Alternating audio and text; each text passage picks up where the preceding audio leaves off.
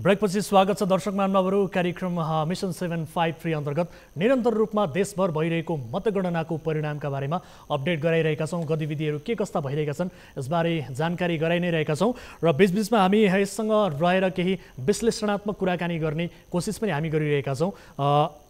मैले ब्रेक अघि पनि जानकारी गराएको थिएँ। कलाकार किरण केसी हामीसँग स्टुडियोमा हुनुहुन्छ।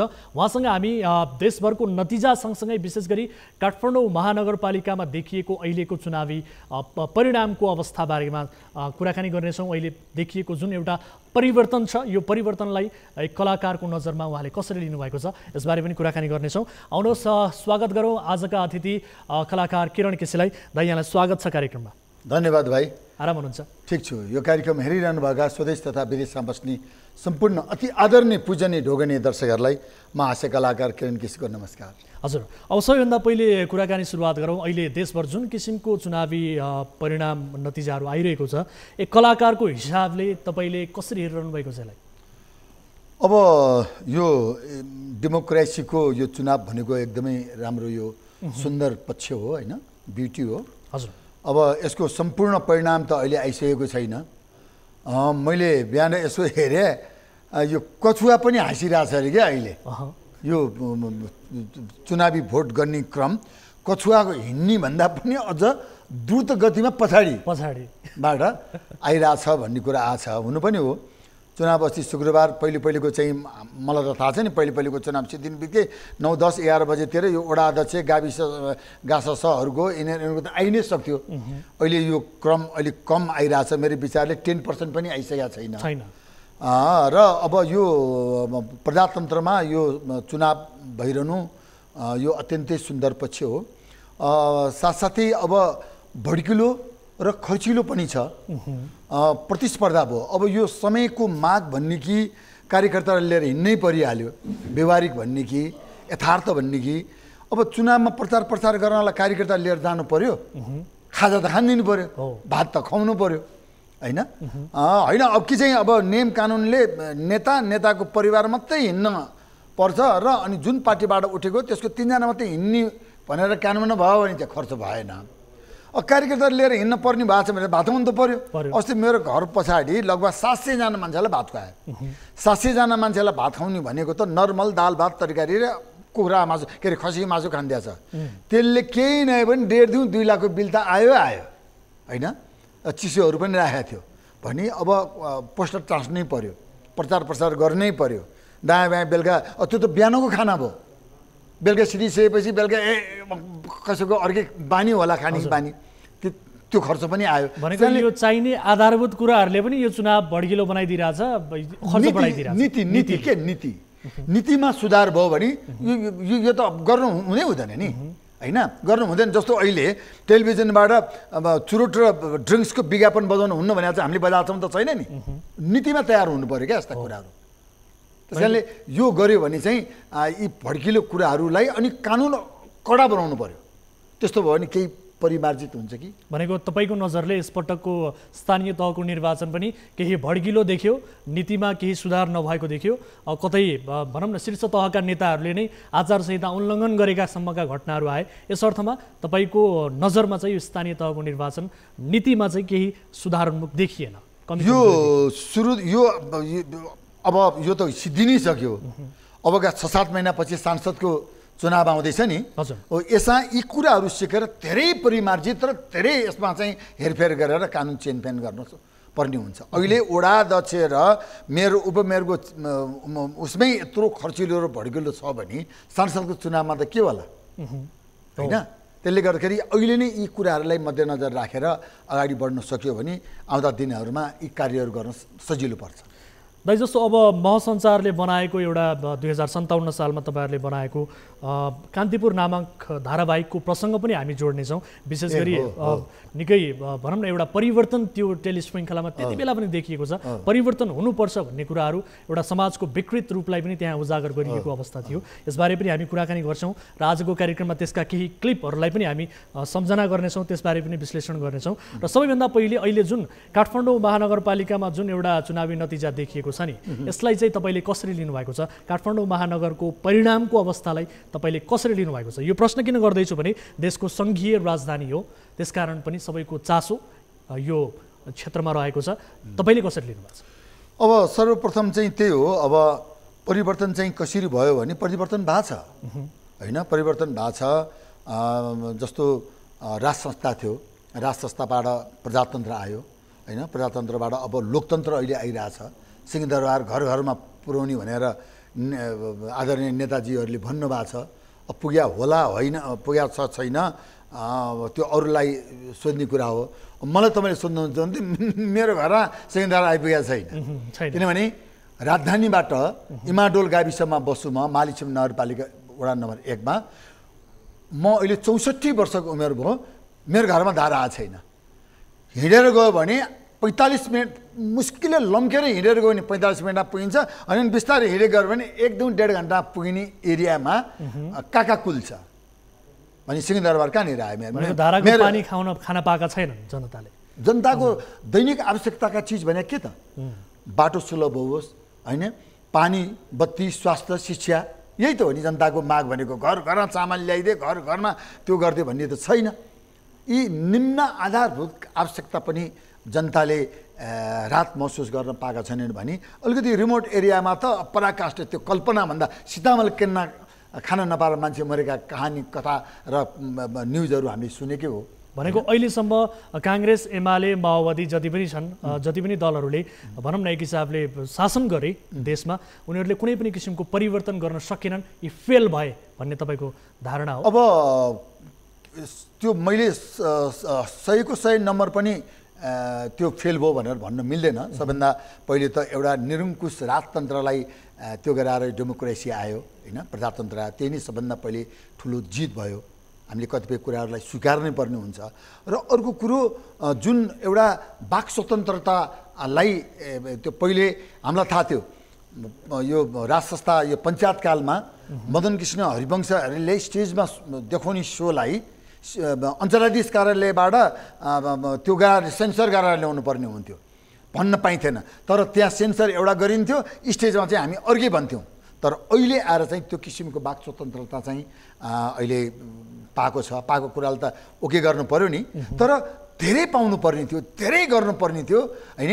मान्छे दस दिउँ पन्ध्र वर्षमा काय पलट पल्टेका देशहरू हाम्रो हाम्रो नजरमा हामीले देखाएको छौँ। बिस पच्चिस तिस वर्षमा सिङ्गापुर मलेसियाले काय पलट गरेको छ ब्याङ्ककले काय पलट गरेको छ धेरै टाढा अमेरिका अस्ट्रेलिया नजाउँ। हाम्रो छिमेकी यहीँ नजिकको दुई तिन घन्टाको फ्लाइटको देशहरूले एउटा काय पलट गरेको छ भने हामीले गर्न सक्थ्यौँ। होइन हामी विश्वको ज्यादै सुन्दर यहाँहरूको आशीर्वादले संसारका धेरै भूभागहरू घुम्ने अवसर पायौँ। त्यहाँ मान्छेले नै बनाएको हो। भगवान्ले यसो तथास्तु गरेर बनाएको होइन। त्यसको लागि के चाहियो भन्दाखेरि भिजन चाहियो इच्छा शक्ति चाहियो सिस्टममा हिँड्नु पर्यो क्लियर हुनु पर्यो। पार्टीभन्दा माथि उठ्नु पर्यो परिवारभन्दा माथि उठ्नु पर्यो।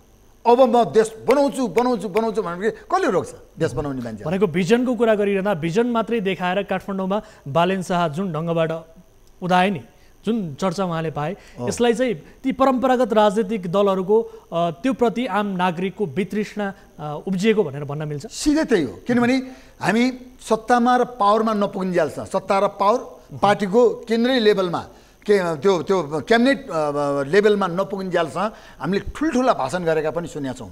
युवा चाहियो युवा चाहियो युवा चाहियो युवा चाहियो भनेका छौँ। अनि त्यो पा त्यो युवा ती पार्टीमा पुगेर प्राउड भइसकेका हुन्छ। तैपनि युवा चाहियो भन्ने हुन्छ होइन? अनि युवा उठ्या बेला आफ्नै पार्टीका युवाहरूलाई चान्स नदिएर परिवारवाद नातावाद कृपावाद होइन? नजिकका आसेपासे यसलाई बढी टिकट दिएका कुराहरू हामीले अहिले जग जाहेरै छ हामीले देखिरहेछौँ। त्यो सबैको विक यो नेताहरूको यो यो यो परिवार परिवारवादको र यो आफ्नो नजिकको नातेदार इष्टमित्रको बातको पराकाष्ठ हो बालन शाह। है? मैले त त्यति साह्रो मेरो नजिकबाट चिन्जान छैन।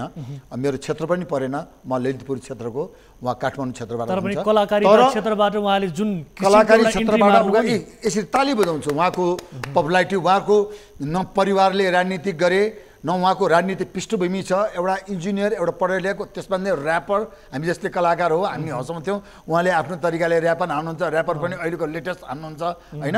एकदम मन छुन्नी कहिलेकाहीँ हल्का भल्कर पनि छ होइन? त्यस्तो व्यक्तिलाई अहिलेको युवा जमातले काठमाडौँमा आजको अहिले यो दुई हजार के अरे उना असी साल जेठ एक गतेको दिन मैले इन्टरभ्यू दिन जालसम्म अहिले साढे बाह्र बजीसम्म लिडिङ गरेर लानु भएको छ यसको परिणाम बेलुका सकिया होला त्यो त अब पर्खर हेरेकै उहाँको जुन ढङ्गबाट एउटा इन्ट्री भयो नि यो त्यो इन्ट्री नै। एउटा डेन्जर थियो। एउटा एउटा एउटा चाहिँ युवाहरूको यो हेर हामी देखाइदिन्छौँ भन्ने टाइपको थियो। देशमा तीन तहको सरकार छ स्थानीय प्रदेश सङ्घीय तर पनि जनताहरू महँगीको मारमा ठगिने त अहिले त मलाई कस्तो लाग्छ भने अब यो। अर्थको अर्थ नलाओस् यो कानुन मिलाएर खाओस् जस्तो लाग्यो क्या। आफूलाई सय रुपियाँ नाफा हुन्छ भने राज्यलाई दस करोड घाटा लाग्दा दस करोड घाटा लाग्छ राज्यलाई तर आफूलाई चाहिँ तिन सय रुपियाँ मात्रै नाफा हुन्छ भने दस करोड घाटा खाउनको लागि सबै तयार भएको जस्तो अनुभूति भएको छ क्या।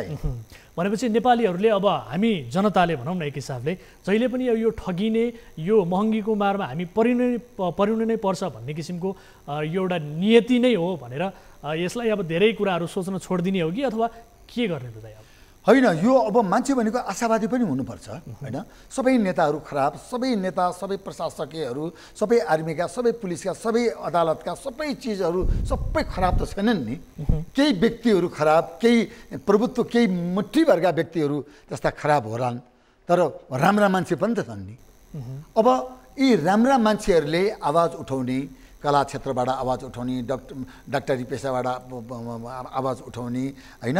सामाजिक क्षेत्रबाट आवाज उठाउने उतापट्टि पत्रकार क्षेत्रबाट आवाज उठाउने गर्दा गर्दा मान्छे भनेको आशावादी हुनुपर्छ एक दिन राम्रो हुन्छ हुन्छ तर तपाईँहरूले त यही धारावाहिक श्रृङ्खला निकालेको यो टेलि श्रृङ्खला निकालेको त बाइस वर्ष भइसकेछ नि त अलमोस्ट खै त? त्यसले परि त्यसले मात्रै हुने भइदिएको भए त आज केही न केही हदसम्म परिवर्तन हुनुपर्ने थियो। यो समस्या त झन् झन् जगडियो भनेर स्वयं तपाईँ तपाईँ अब यही। सोध्नका लागि तपाईँले मलाई बिहान आठ बजी फोन गरेर बोलाउनु भयो। यही कुरो मैले तपाईँलाई सोधेँ तपाईँले भन्ने जवाब त्यही हो। त्यही हो। नेताहरूको अ, आक्रमणीयता तपाईँले भने यही होइन ने- नेताहरूको आक्रमणीयता नेताहरू राजनीतिक पार्टीभन्दा माथि उठ्न सकेनन् प परिवारभन्दा माथि उठ्न सकेनन् ठुलो भिजन भएनन् सन्त देश प्रेमी नेताहरू पाइएनन्। हामी त अबाई करो भन्छौँ भयो क्या? राजा पनि राम्रो परेन देशको नेताहरू पनि राम्रो परेन क्या हाम्रो। अब त राजाले गर्ला है अबि अब त अब त गर्ने भयो। व्यापारी राजा आए अब त गर्छ। भन्ने सोच्या राजाबाट पनि देखिहाल्यो। अब नेताहरूबाट भएन पहिले पहिले पुरानो नेताहरूबाट भएन अबका यङ त्यो बेलाका यङ भने अब शेरबहादुर देउबा डाक्टर बाबुराम भट्टराई पुष्पकमल दाल जनकान्तिबाट आएर ल अब अब अब भिजन अब राम्रो होला भने त्यसबाट पनि देखिहाल्यो। कुनै पनि पार्टीबाट अफर आएको छैन अहिलेसम्म? आजभन्दा केही कलाकारहरू जानुभयो म चाहिँ म चाहिँ जान्न म चाहिँ राम्रोलाई प्रशंसा गर्ने नराम्रोलाई व्यङ्गात्मक तरिकाले अहिले मैले व्यङ्ग हाने छ नि कति होइन? कान्तिपुरमा आजभन्दा बाइस वर्ष नि हामीले व्यङ्गै हाने हो। अनि नराम्रो कामलाई व्यङ्ग हानी सचेत गराइरहने काममा ठेका परिहार चाहिँ यो पृथ्वीमा बाजुन्जेल सचेत गराइरहने कला कलाकारिताबाट यस्तो इन्टरभ्यूहरूबाट आफूले भूमिका खेलेर त्यसको प्रभाव चाहिँ कतिको परेको पाउनु भएको छ? तपाईँहरूले कलाकारिताबाट जुन धेरै परेको छ। सचेत गराउनु भएको छ। राज्यका यी शासकहरूलाई यी नेताहरूको दिमागमा ढ्याङ्ग्रो फुकेको पाउनु भएको छ महसुस गर्नु भएको छ? आएको छ। लाल पूर्जा भने यही महद्वारा निर्मित लाल पूर्जा टेलिफिल्म बनाइसकेपछि जग्गा र ज- जग्गाधनी र मोहीको लफडा झगडा सयौँ सयौँ पुस्ता पुस्ता पुस्ता पुस्ता पाँच सय हजारौँ वर्ष अगाडिदेखिको त्यो द्वैत्व स्वामित्वमा रहेका ती जग्गाहरूलाई लाल पूर्जा भन्ने टेलिफिल्म हेरिसकेपछि संसदमा लगेर राखेर त्यसलाई आधार बनाएर जग्गाधनलाई आदि महिला आदि बनाउने भन्ने कुरो त्यो लाल पूर्जा दस्तावेज बन्यो। रात भनी टेलिफिल्ममा टेलिभिजन बेचबिखन सम्बन्धीको कानुन बन्यो। त्यो ओहो भन्ने कुष्ठरोग सम्बन्धीको टेलिफिल्म हेरेर हातमा त्यो त्यो हेरिसकेपछि मान्छेहरूले कति दुई लाख मान्छेहरू होइन बाह्र लाख मान्छेहरू जताउन गए। यो दाँत भने के हो भनेर त्यो त्यो कुष्ठरोग सम्बन्धीको विशेषज्ञलाई जताउनेखेरि ओहो तपाईँको त यो कुष्ठरोग सम्बन्धीको त्यो ऊ फर्स्ट पारेर के अरे फर्स्ट उसमा चाहिँ तपाईँलाई यो लागिरहेछ। तपाईँले औषधि खानुहोस् भन्दाखेरि त्यो नर्मल बाह्र पन्ध्र दुई हप्ताको औषधि खाएर निको निको भएर धेरै त्यो कुष्ठरोग हुनुबाट मान्छेहरू बचेको छ। होइन? हामीले जिरे खोर्सानीमा ज्वाइन ज्वाइन जेठान कन्ट्रसन भनेर एउटा बनाएको थियौँ। आज पिच गरेर भोलि नै उकिने। होइन? पछिल्लो समयमा त्यो ठेकेदारहरूलाई सडक विभाग र सिडिओ कार्यालयमा चाहिँ त्यो ठेक्का टेन्डर पाउँदाखेरि त्यही ज्वाइँ जेठान कन्ट्रोल जस्तो चाहिँ नहोस् नि। आज पिच गरेर भोलि उकिने भने यो असर परेको छ। असर चाहिँ परेको छ बुझ्या पनि छन्। होइन यो गर्नुहुन्न भन्ने पनि थाहा छ। थाहा छ। कानुन फितलो भएर र आफन्तहरूलाई त्यो पर्यो आ भनेर पेलेर पर्यो भने चाहिँ त्यो जेल पर्यो त्यसलाई थुन्यो त्यसलाई अप्ठ्यारो पर्यो भने चाहिँ नेताहरूबाट फोन गरेर ननिकालिदिनु हो भने यस्ता कुराहरू आफै परिमार्जित भएर आफै निर्मूल भएर जान्छ। अलिकति अब राजनीतिमा कलाकारहरूको पार्टी प्रवेशको प्रसङ्गलाई पनि जोडाउँदै तपाईँले भन्नुभयो अहिलेसम्म कुनै पनि पार्टीमा त्यो किसिमको तपाईँको देखिएको छैन। अन्य कलाकारहरू यद्यपि प्रवेश गर्नुभएको छ प्रवेश गर्ने क्रम जारी छ तर पनि प्रवेश गरिसके पछाडि पनि कलाकारहरूको त्यहाँ त्यस्तो किसिमको अस्तित्व चाहिँ देखिएको अवस्था छैन। अहिलेसम्मको परिवेश हेर्दा उहाँहरूलाई एउटा सोपिसका रूपमा राखिएको अवस्था पनि छ। तपाईँले यस बिचमा धेरै नेताहरूलाई पनि भेटघाट गर्नुभयो होला। उहाँहरूसँग कुराकानी चाहिँ के गर्नुहुन्छ मैले मलाई व्यक्तिगत हिसाबले अलिकति भिजन भएको हो कि जस्तो चाहिँ डाक्टर बाबुराम भट्टराईसँग लाग्थ्यो। उहाँले प्रधानमन्त्री भएपछि हामी कलाकारहरूलाई बेला बेलामा चाहिँ परामर्श लिनुहुन्थ्यो सल्लाह लिनुहुन्थ्यो कलाकारितामा के गर्ने तपाईँहरू पनि तपाईँहरूले पनि आम मास चाहिन्छ तपाईँलाई पर्फर्म गर्नलाई जनता नआइकन हुँदैन दर्शक नआइकन हुँदैन। हामीलाई पनि भाषण गर्दाखेरि जनता नआइकन हुँदैन। त्यस कारणले तपाईँहरू हामी भनेको नङ्ग्रो मासु हौँ। त्यस कारणले तपाईँहरूको मुलुक मुलुक पक्षको मुलुकलाई फेरि हास्यव्यङ्ग्य कलाकारहरूलाई एकदम सुस्प तरिकाले निहालेर हेरिरहेको हुन्छ। किनकि हामीलाई त व्यङ्ग्य हान्नु छ नि त होइन? त्यो विषयमा चाहिँ पर्फर्म गर्नु छ नि त। राम्रोलाई राम्रो तरिकाले प्रशंसा गर्नुपर्ने छ नराम्रोलाई व्यङ्ग्य हानेर खबरदारी गर्नु छ त्यसले गर्दा सूक्ष्म तरिकाले हाँस्य प्रयाग गरे अझ हाँस्य कलाकारहरू चाहिँ त्यो गरे बेला हामीलाई परामर्शको लागि हुन्थ्यो मैले डाक्टर बाबुराम भट्टराईलाई मैले सोधेको थिएँ। उहाँले त्यो नयाँ नेपाल नयाँ के एउटा भन्ने एउटा पहिलो पार्टी खोल्नु भएको थियो नि। के नयाँ के भन्ने एउटा उहाँले नयाँ शक्ति। नयाँ शक्ति। खोल्नु भएको बेला हामीले गरेपछि मैले सबभन्दा पहिले पार्टीमा ल सुरु गरौँ त। भन्दाखेरि म डाक्टर बाबुराम भट्टराईकै नजिकै थिएँ। डाक्टर साहब तपाईँले यो पार्टी खोलेर जनताहरूको जग्गामा फेरि झन्डा गाड्ने फेरि त्यो ब्याङ्क लुट्ने थर्काएर चन्दा माग्ने यही काम गर्ने हो कि परिमार्जित गर्नुपर्छ? हा- हाम्रो पार्टीले त्यस्तो गर्दैन। त्यसो भए तपाईँ मुलुकको प्रधानमन्त्री भइसक्नुभयो। तपाईँलाई गार्ड दिएको छ आठ नौजना सेक्युरिटी दिएको छ होइन? तपाईँलाई बस्नलाई घर दिएको छ सारा गरेको छ। तपाईँ आजैबाट आफ्नो सम्पूर्ण सम्पत्तिहरू राष्ट्रियकरण गर्छु भनेर आह्वान गर्नु न जनतालाई। तपाईँले गाडी पनि त्यही गर्नुभयो। मुलुकको प्रधानमन्त्री भएर त्यो शेर्पा के गाडी चढेर हिँड्नुभयो तपाईँले? नयाँ नयाँ काम गरेर। त्यस कारणले तपाईँ त्यो काम गर्न सक्नुहुन्छ भन्दाखेरि उहाँले के जवाब दिनुभयो भने गाडी दिएर के गर्नु? पेट्रोल आफैले हाल्नुपर्छ? हे भन्यो। अनि मैले अरू यस्तै यस्तै कुराहरू गरेँ उहाँलाई। अनि मैले हाम्रो एकजना नेताको नाम चाहिँ नबताउँ मैले उहाँलाई हजुर। ठुलो पदको नेता हो। मुलुकको मुर्दन्ने मान्छे हो उहाँ। मुलुक हाँकेर बसेको मान्छे। दुई दुई पटक प्रधानमन्त्री पनि भइसकेको मान्छे। नाम चाहिँ म बताउन यतिबाट चाहिँ मलाई सेक्रेटरी राख्न दिनुहोस् म उहाँलाई उहाँलाई मैले भेटेर के भने भने नमस्कार प्रधानमन्त्री हो म यहाँ अलिकति व्यङ्ग डाइरेक्टै हान्छु। यहाँ यहाँ हामी यहाँ भएका पत्रकारहरू अगाडि भन्नुहोस् न भन्नुभयो। तपाईँ बेलुका तिन बोतल रैसी खानुहुन्छ अरे हो भनेखेरि कसले भने? खान्न भन्नु। ए खानुहुन्न है। अनि संसारको सबैभन्दा महँगो मासु भनेको सालमन फिसहरू चराचुरुङ्गीको मासुहरू खसीको मासुहरू छ सात किलो खानुहुन्छ अरे हो पर डे। हे वाइफ कुरा गर्ने भनेर भन्नुभयो। अनि चिउरा पनि तिन किलो खानुहुन्छ अरे। बेलुका सुत्ने बेला डेढ किलो चामलको भात खानुहुन्छ अरे भनेपछि वाइफ कुरा गर्ने भनेर भन्छ हो यी सबै खानुहुन्न होइन त। यी सबै खानुहुन्न भने त अझ तपाईँलाई त धेरै चाँडै बोरेला भने त थोरै खानुहुन्छ। देश बनाउनु नि त। आजैबाट त्यागी बनाउनु नि त। बनाउनुहोस्। इष्टमित्र नातेदार पार्टी यो त्यो सारा गरेर बनाउँछु भनेर अगाडि बनाउनुहोस् भने क्या व्यङ्ग है तपाईँले भनेर हाँसोमा उडाइदिनु भयो उहाँले ललितपुर महानगरपालिकाको कुरा गरौँ। यो पछिल्लो पाँच वर्षको कार्यकालमा त्यहाँका मेयरका उम्मेदवार जो हुनुहुन्थ्यो उम्मेदवार निर्वाचित भइसक्नुभएका चिरीबाबु महर्जन यसपटक फेरि पनि चुनावी मैदानमा हुनुहुन्छ होइन? उहाँले पाँच वर्षको अवधिमा गरेका कामहरू महानगरपालिकामा तपाईँले के के देख्नुभयो यसबारे बताउनुहोस् त। यसपटक फेरि पनि उहाँ लिड गरिरहनु भएको छ। सोही अब म चाहिँ ललितपुरको मालछिम नगरपालिकाको महालक्ष्मी। एक नम्बर वडामा बस्छु। त्यहाँ मैले एउटा गेट बनाउने भनेर भनेको थिएँ होइन? त्यो अब त्यो गेटले त्यो जनतालाई रात त दिँदैन तर पहिचान चाहिँ दिन्छ नि। होइन? किनकि त्यहाँ धेरै ठुलो समुदायमा अँ, नेवार जातिका दाजुभाइहरू हुनुहुन्छ अरू जातिका हुन्छन्। सबै कल्चरहरू सबै धर्म र संस्कृति झल्किने एउटा पहिचानको लागि होइन? मान्छेले आफ्नो पहिचान पनि त सबभन्दा ठुलो कुरो हो नि। त्यो पहिचान देखाउनको लागि भनेर मेरो आफ्नै निजी पैसामा मैले एउटा त्यो ऊ बनाएको थिएँ।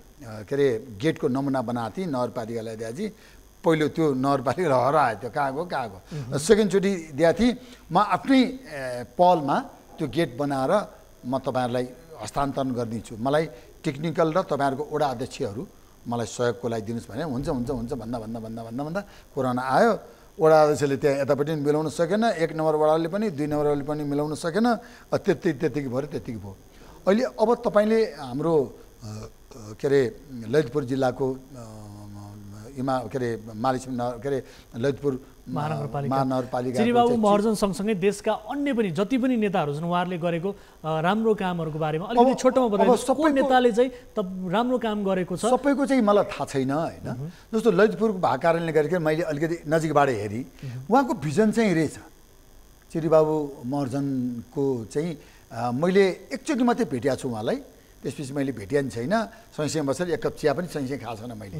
तर ललितपुरको जुन त्यो कृष्ण मन्दिर हाम्रो हाम्रो स्रष्टाहरूलाई सम्मान गर्ने होइन एउटा संस्कृतिविदहरू हाम्रो उहाँहरूलाई त्यो सम्मान गर्ने क्रमहरू मठ मन्दिरहरू यो जुन साइकल उसको कुराहरू अनि यो अहिले अहिलेको प्रविधिहरूलाई अपडेट गराएर जनताहरूलाई सुशिक्षित गर्ने कुराहरूमा चाहिँ अग्रसर रूपमा अगाडि बढेको मैले देखेँ। अ, विकास प्रेमी हुनु हुनुहुन्छ जस्तो मलाई लागिरहेछ। अरू बाँकी त उहाँले गरेका क्रियाकलापहरूको मैले अपडेट त राखेको छैन। तर समग्र रूपबाट सशर्त हेर्दाखेरि चाहिँ उहाँले अरू अरू अरू अरू नगरपालिकाको भन्दा उहाँको पालामा चाहिँ उहाँले गरेकोमा चाहिँ स्वागतयोग्य जस्तो लाग्छ। अर्को अ, सर्लाहीको त्यो के नगरपालिका त्यो भरत ताल बनाउने के भरत के भन्ने होला। उहाँले नयाँ भिजन ल्याएर एक सय डेढ सय बिघामा खाल्लो खनेर उहाँले पानी लिएर आएर एउटा तीर्थस्थलै बनाए जस्तो गरेर महिनाको दिनकै आठ दस लाख चाहन्छन् पैसा उठाउने जुन एउटा भिजन ल्याउनु भयो नि त्यो पनि स्वागत ए ताली नै बजाउँछु त्यो। उहाँको उहाँको मेयरको नाम के? भरत समथिङ के हो? थाहा छैन मलाई। तर उहाँको त्यो देखेर त्यो पनि मलाई एकदम राम्रो लाग्यो। अर्को कुरो हाम्रो चितवनको रेणु दालले जुन त्यो सडक सञ्जाल जुन त्यो बाटो बनाउने त्यो भिजन यताउति गरे। त्यो पनि अरू के के गर्नुभयो कुन पार्टीले गर्यो कसले गर्यो कसरी गर्यो त्यो सबै छोड छोडेर त्यो किसिमको एउटा अपडेट चाहिँ गरेको हो कि भनी त्यहाँ पनि एउटा आवाज भएको छ भने माडीको ठाकुर ढकाल। उहाँ। पनि विकास प्रेमी उहाँले पनि धेरैवटा चिजहरू सानो नगरपालिका भए पनि धेरैवटा चिज गरेको जस्तो मलाई आवाज लागेको छ। अनि भक्तपुरको जुन त्यो सम्पदाहरूलाई जुन किसिमबाट अगाडि राखेर उहाँले गर्नुभयो र अर्को पोखराको यी अरू सबै ठाउँमा त म पुग्न सकेको छैन। अब विषय पनि भएन होइन? तर यीलाई चाहिँ स्वागत योग्य जस्तो मलाई लाग्यो उहाँहरूले गरेको कामको चाहिँ स्वागत गर्नुपर्छ जस्तो लाग्छ। हस् यो महत्त्वपूर्ण समय र जानकारीका लागि धन्यवाद। आज हामीसँग विशेष गरी स्थानीय तहको निर्वाचन सम्पन्न भइसके पछाडि मतगणना जारी रहँदा तपाईँहरूले दुई हजार सन्ताउन्न सालमा अभिनय गरेको धारावाहिक कान्तिपुर टेलिश्रृङ्खला र अहिलेको परिवेशलाई जोडेर केही समीक्षात्मक कुराकानीमा जोडिनु भयो म धेरै धेरै धन्यवाद दिन चाहन्छु सर्वप्रथम धन्यवाद। मलाई तपाईँले यस्तो आज यो मुलुककै यो निर्वाचन सम्बन्धी विषय बुलेटिनमा राखेर हामीले आजभन्दा बिस बाइस वर्ष अगाडि अभिनय गरेका कुराहरू यथार्थ रह्यो भन्ने मनन र चिन्तन गरेर त्यो विषयमा परा परामर्श गर्नको लागि मलाई स्टुडियोमा बोलाएर मेरा केही अभिव्यक्तिहरू र मैले अभिनय गरेका कुराहरूलाई चाहिँ लिएर जनतासँग अझ बढी सुशिक्षित गर्ने शुभ अवसर दिनुभयो। धेरै धेरै धन्यवाद दिँदै नवनिर्वाचित मेयर उपमेयर वडाध्यक्ष लगायत सम्पूर्णलाई अर्को पाँच वर्षमा सबै नगरपालिकाका मेयर र सबै नगरपालिका उपमेयर र वडा अध्यक्षहरूको यसरी नै मुक्त कण्ठबाट प्रशंसा गर्न सकौँ। यसरी नै काम गर्दै जानुहोस्। जनताहरूको रात समस्या पीर मर्काहरूलाई आत्मसात गरेर अगाडि बढ्दै जानुहोस्। आउँदा दिन यही टेबलमा बसेर फेरि तपाईँहरूको मुक्त कण्ठबाट प्रशंसा गर्ने बाचा गर्दै तपाईँलाई र यो टेलिभिजन र सम्पूर्ण अत्यन्त आदरणीय पूजनीय ढोग्ने दर्शकहरूलाई नमस्कार गर्न चाहन्छु। हस् धन्यवाद। दर्शक महानुभावहरू कलाकार किरण केसी उहाँसँग हामीले कुराकानी गऱ्यौँ। विशेष गरी मिसन सेभेन फाइभ थ्री अन्तर्गत रहेर हामीले आजभन्दा बिस बाइस वर्ष अघि कान्तिपुर नामक धारावाहिक जुन टेलिश्रृङ्खला थियो यो टेलिश्रृङ्खलामा जति पनि समाजमा देखिएका विकृति विसङ्गति र राम्रा कुराहरू नराम्रा कुराहरू जुन ढङ्गबाट उजागर गरिएको थियो त्यसमा उजागर गरिएको समयको परिवेश र अहिलेको परिवेशमा केही परिवर्तन भयो कि भएनन्। यसबारे समग्र रूपमा कुराकानी गऱ्यौँ र केही राजनैतिक कुराकानी पनि हामीले जोड्यौँ।